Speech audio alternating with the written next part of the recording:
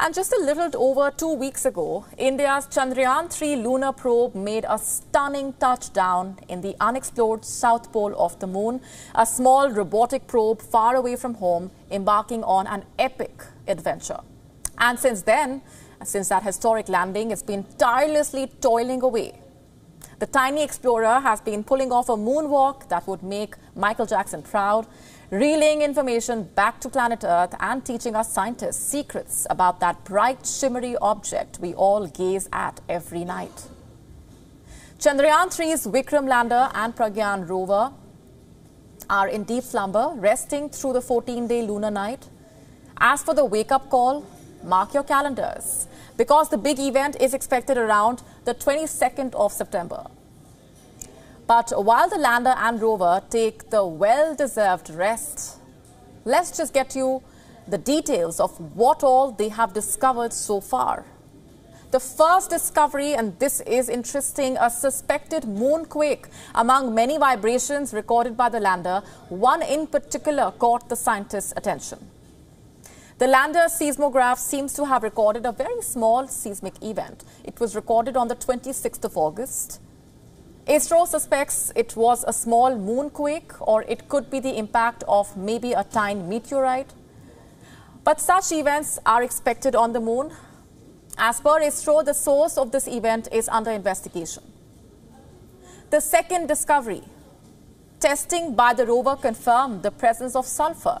The rover also found aluminium, silicon, calcium, iron, among other elements.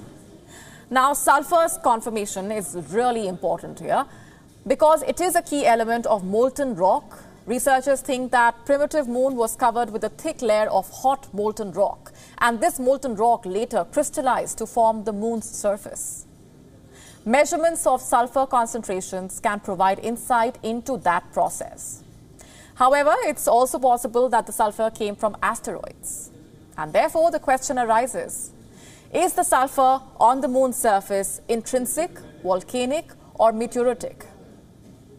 You see, sulfur is also a volatile element. It easily vaporizes and escapes from the atmosphere. The proof of sulfur might give some hints about how the moon was formed and how it evolved. It could actually be an indication that there is water ice on the lunar surface. Lunar water could serve as a source of oxygen. It could mean possibility of human life on moon. The third discovery, the temperature at the moon's south pole. Understanding lunar temperature is important, especially if we talk about human settlement on the moon. The Vikram lander is fitted with a temperature probe. That probe contains 10 sensors and is able to reach 10 centimeters below the surface of the moon. Now, preliminary data shows that during the day, the temperature in fact, is around uh, 60 degrees lower than at the surface. Measurements so far have found that the temperature at the surface is significantly warmer, warmer than what was recorded by NASA's 2009 Lunar Reconnaissance Orbiter, as per reports. And lastly, a thin layer of ions and electrons swirling near the lunar pole. The probe on board has done measurements of density and temperature of the moon's ionosphere.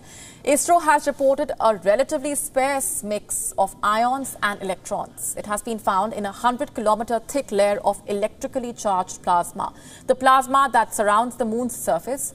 As per the initial measurements, density was found to be about 5 mn to 30 mn electrons per cubic meter. It is lower than the Earth's upper atmosphere.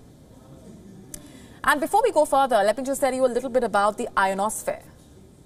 On Earth, the ionosphere is home to the charged particles in our atmosphere. It's where the Earth's atmosphere meets space. The sun cooks gases until they lose an electron or two, creating a sea of electrically charged particles. It stretches roughly 50 to 400 miles above the Earth's surface, in fact, right at the edge of space. It plays a role in our everyday communications, radio, GPS signals, etc., and it's home to many of our satellites. Let's now get back to the moon. ISRO says that the density seems to vary as the lunar day progresses. If humans were to inhabit the moon ever, the density of the ionosphere would affect lunar communication and the navigation systems. But what do the scientists say? They say that the sparse plasma means that potential delays would be minimal and that it would not pose a problem for transmission. India's robotic explorers are in deep sleep, but their awakening depends on a game of chance. Waiting for the sun's return at the end of this lunar night, temperatures near the poles plummet to a bone-chilling minus 253 degrees Celsius, and neither the Vikram lander nor the Pragyan rover are equipped with heaters, and so their survival hinges on sheer chance. Still, in their two-week mission, Chandrayaan 3 uncovered so many lunar secrets. It has been an extraordinary historic journey. Regardless of what happens at the end of the lunar night, Vikram lander and Pragyan rover have etched their mark in the field of space exploration. We are now available in your country. Download the app now. Get all the updates on the move.